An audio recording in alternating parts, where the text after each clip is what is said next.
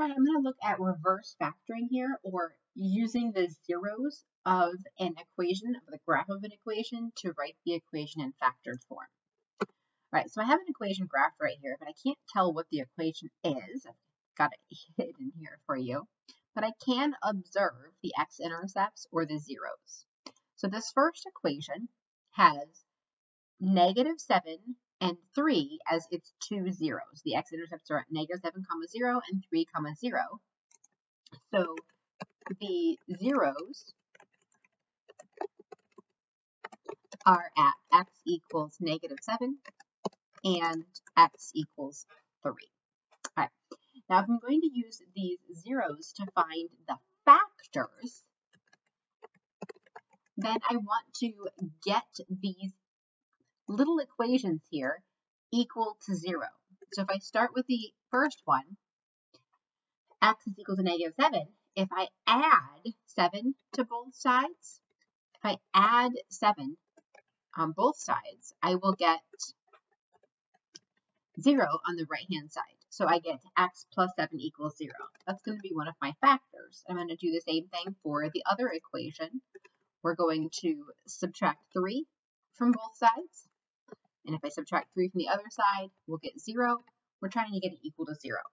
So we'll have our factors as x plus 7 times x minus 3. So in factored form, the two factors in this equation are x plus 7 and x minus 3. If I graph those two factors, I can even put y equals in front. I'll have y equals x minus 7 times y equals x minus uh, I'm sorry, plus 7. I mistyped that value there. And I can see that this graph shows up right on top of the previous one, so I know that I have it correct. All right. Taking a look at the next example, I'm going to turn off equation 1 and look at equation 2. This is another one that I want to solve by factoring, reverse factoring. So I'm going to look for the zeros and if I click on those, they are at negative 0.333 and 2.5.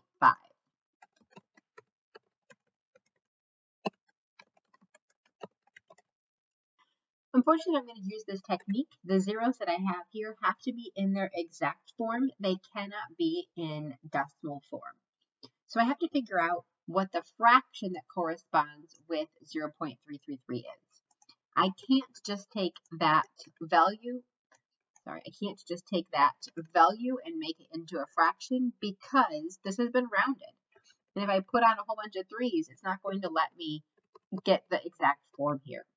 I have to be able to recognize it. With enough practice and experience with fractions, I may recognize that as the fraction one third, so negative 0.33333 will be negative one third. So that just has a little bit of experience and knowledge on this case.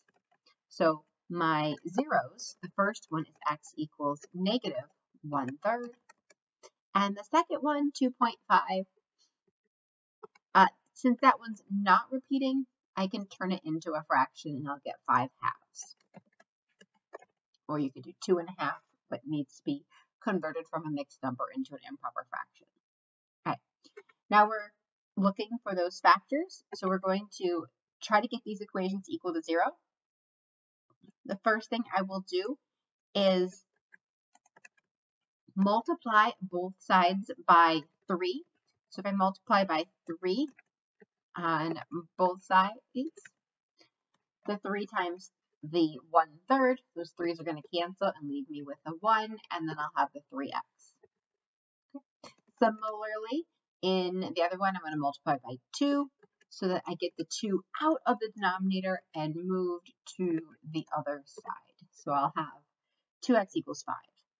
So I get rid of the denominator first, and then we're going to add or subtract our terms to the other side to get our factors. All right, so in the case of the first one, uh, that 3x equals negative 1 to get rid of this negative 1, I want to add 1 to both sides. That's going to make a 0. That was my goal. making this equal to 0. And the other one will subtract 5 from both sides, and that will get equal to 0. Okay, so I have those two factors, so I can write my equation with those two factors. y equals uh, 3x plus 1 times 2x minus 5. And as you see, I have the correct solution because my graph lines up exactly on the graph I was trying to write the equation for. All right.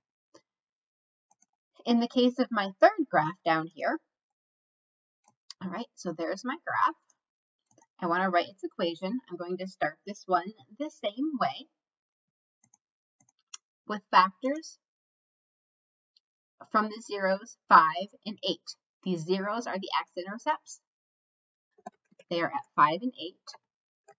So my zeros are x equals 5 and x equals 8.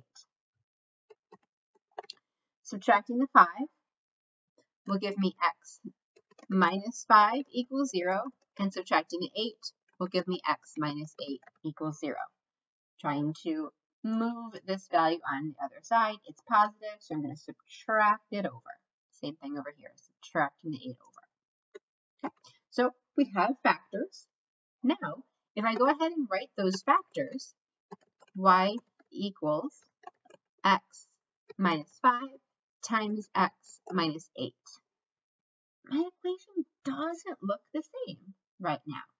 That's because there is an a value that I do not yet know. There's a coefficient I need to solve for. So we're going to try to solve for that a value. So I know that my equation is currently y equals some number a times x minus 5 times the x minus 8. I can take any other ordered pair on this graph, such as the y-intercept or this point at uh, 2, negative 6, any point on the graph. The y-intercept is convenient if it's a whole number, and it's not. Uh -oh. So we're going to want to have a point right on this graph, like 2, negative 6, so that it has whole numbered values. So I'm going to use 2, negative 6. Another point I might have been able to use is the vertex, not whole numbers, so I'm going to stick with that point 2, negative 6. Any point that's on this graph will be able to be used to solve for A. So I'm going to take my equation, I'm going to plug in the negative 6 for the y value, and we're going to plug in 2 for our x values, plugging in 2 comma negative 6. So if we solve this, let's see, that's going to be a times 2 minus 5 is negative 3, and 2 minus 8 is going to be negative 6. So negative 6 equals a times 18, or I could write this as 18a equals negative 6. Then to solve this, I want to divide both sides by 18. So uh, negative 6 divided by 18, which reduces to the fraction negative one third is going to be our A value. So my A value is negative one third in this case.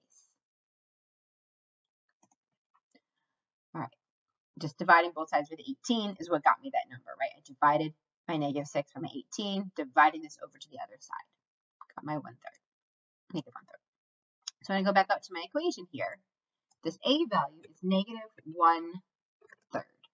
And now this equation perfectly matches up. I have not just written it in factored form, but I've written it in factored form with a correct coefficient.